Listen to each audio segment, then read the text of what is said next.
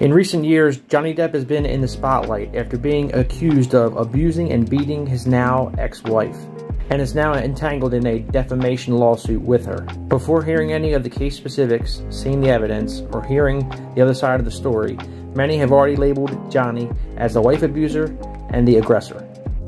Just four days after being accused of this abuse allegation, Johnny lost and was fired from two major acting roles, including Jack Sparrow, and has since lost millions of dollars and many other projects as a result.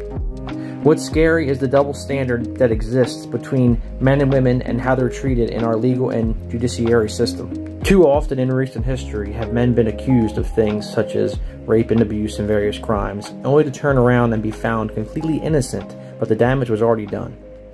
These were simply vendettas against men from women for things such as ended relationships.